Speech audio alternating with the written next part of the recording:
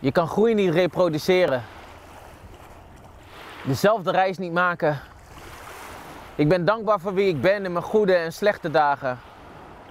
Konden we maar zo nu en dan over de schutting kijken, al denk ik dat we zelfs dan niet begrijpen. Hm. In de spiegel zie ik jou, plus de eerste grijze haren. Vroeg wijs zal ik me zeggen, ik voorzie de beste jaren.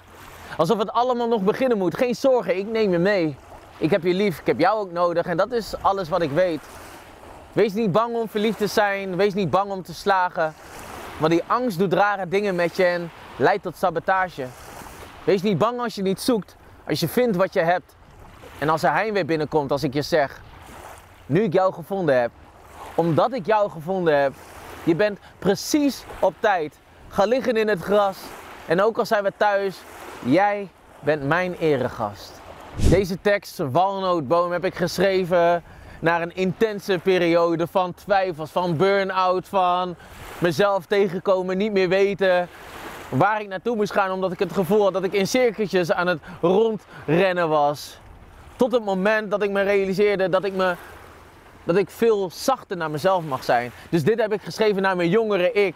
En een van de belangrijkste dingen die ik heb geleerd toen ik dit liedje aan het schrijven was, was om juist naar mijn angst te gaan. Juist naar de weerstand te gaan. Want ik heb mezelf allerlei dingen verteld die mij niet meer dienen eigenlijk. Zo heb ik mezelf altijd gezegd dat de liefde niet echt voor mij is. Dat ik een alien was, dat het me toch niet zou lukken.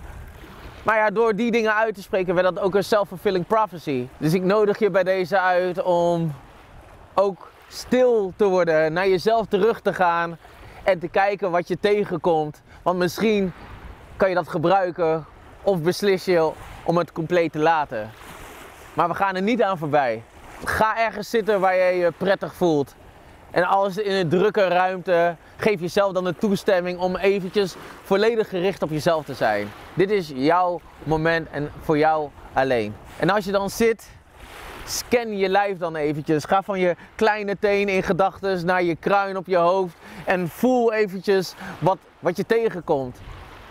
En voel dan ook of er een plek in jouw lijf is waar je je prettig voelt.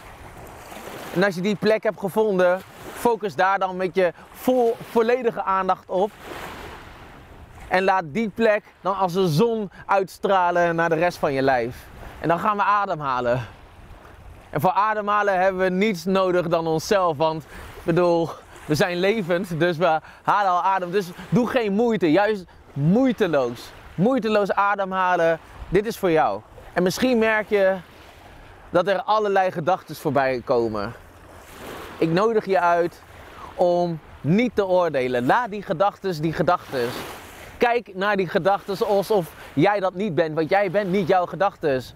Gedachten komen en gaan als, als wolken in de lucht. En misschien kan je zelfs een beetje spelen ermee.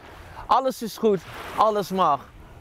Ervaar de humor en de lichtheid ook van, van, van dit moment. Dit is niet zwaar, dit is niet moeilijk. Dit is jij en jij bent perfect zoals je bent. En als je deze minuut hebt genomen, we nemen er een minuut voor.